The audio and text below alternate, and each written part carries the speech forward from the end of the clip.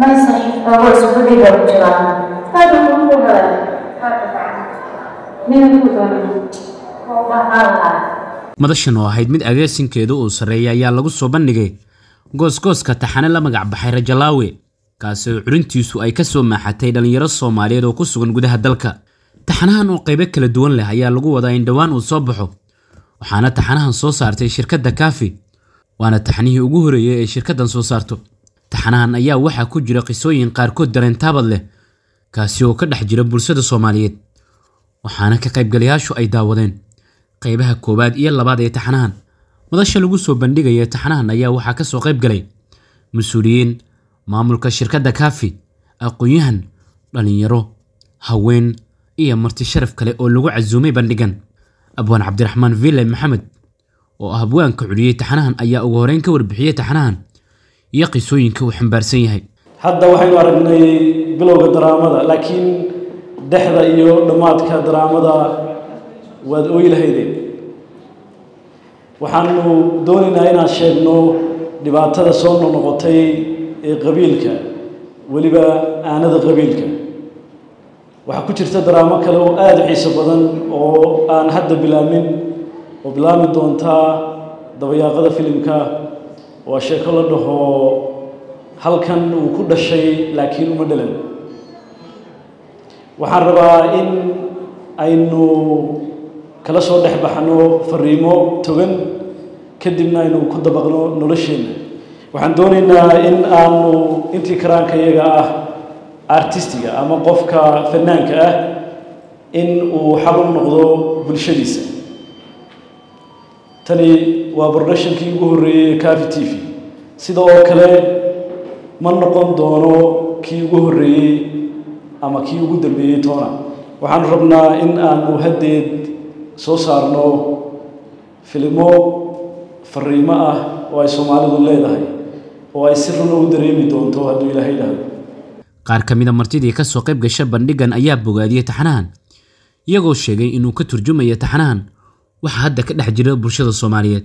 Filimka haddii aan dhuuxay intii aan daawaday wuxuu igala muuqatay inuuna tusayey tagta hore mid soo socota iyo mid hadda taagan ayuuna tusayey marka waxaad moodaa filimka inuu uu meelo badan uu taabanayo emotionally uu dadku u taabtay. Waaqaca ka jiro dhulkeenna iyo waddankeennana uu ka tarjumayey maxaa yeelay dhibaataan soo marray. Midaan ku jiraa hadduu ilaa yidhahdana waan ka baxaynaa filimka wuxuu ahaa filin aad cajiib u ah. Waxaan u mahad celinayaa maskaxdii ka dambeysay iyo cid walba oo ku taageertay inay hawshaas hirgasho horta waxaan rabaa inaan idhaahdo dadkii muufigan soo abaabulay cabdiraxmaan fiili iyo tiimkiisa maasha allah tabaaraka allah waxaa la dhahaa waa in aan annaga taariikhdeenna iyo sheekadeenna annaga sheegi karno. Waxay dhahaan you have to narrate your own story. Adiga taariikhdaada inaad sheegi kartid. Ma fahanteen? So filimkan aa u jeediin iyo filimada ayagoo kale ah waxay ka hadlayaan annaga waa inaan idhaahdo waa acting waa movie waa fahansannahay so waxa kuma qabno haye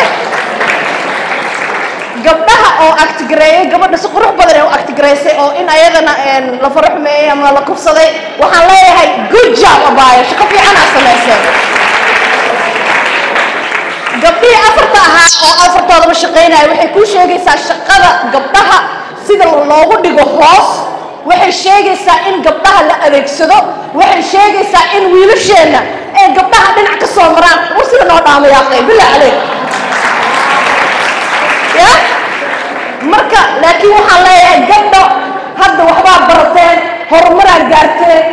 Shaqo yar oo caata aan idinkuguma booteyn karo waxaa leedaha waree anigu meel sanaan ka hadlaaya caalis kaligaa leeyihiin soo ma? Filinka rajalaawe kolley waxyaalaha ay gubiin aan ku dareemi mahaytee in filinkaas ku turjumaamo wix allaala wixii dhaqanka ahaayey oo lagu soo tabi sidaa daraaddeed maxay baan ii baahanya filim walbood dhikaawo yacni inaan ahaado wixii lagu soo tabay iyo wixii hadda laga jiray iyo wixii dhowdabay gudoomiyaha shirkadda kaafi cabdisamed xasan diiriye oo gebagabadii goobta ka hadla ayaa sheegay in taxanahan uu yahay taxanihii ugu horeeyey ay soo saarta shirkadda kaafi.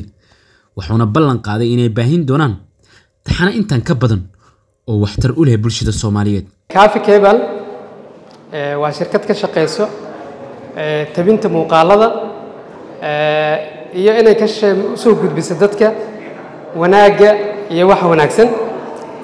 Asaaskii iyo fikirkii aan ku asaasaynay kaafiya waxay ka mid ahayd in aan sameyno eh, fariimo iyo brogramyo ay leeyihiin dadka soomaaliyeed oo aan ahayn kuwo dibadda ka yimid. Sidoo kalena gudbinaayo fariin waxtar leh oo dadka wax u soo kordhinayso ifinayso caqabad ama mushkilad jirtay si dadka intay ugu wada muuqato xalkeeda iyo wanaaggeeda loo wada helo. Marka waxaan is leenahay kan marka waxaa waaye ujeeddooyinkii aan u aasaasnay qayb ka mid ah waxaan rabaa marka inaan si gaar ah ugu mahad tiimkii runtii barnaamijkan hirgeliyey kana shaqeeyey inuu hirgalo oo cawada sidaan loo fiirsanayo loogu wada faraxsan yahay ka suurtageliyey. Mar kale iyo mar saddexaad waxaan leenahay waa mahadsantihiin. Waxaana filaynaa insha allah inaan marar badanna ka sii shaqeyno oo mido ka kan iyo kuwo ka badanba aan soo saarno. Ana soomane shabelle t v muqdisho abka dahabalaas oo lagugu sameeyey habkii ugu casrisanaa waxaad hadda hal meel ka wada heli kartaa dhammaan adeegyada dahabshiil group adigoo isticmaalaya ablicathonka dahabalaas oo adeegyo dheeraada lagugu soo kordhiyey ku bixi ku iibso ku kaydso. Dahabalaas habka ugu casrisan ee aad ku maamulan karto lacagtaada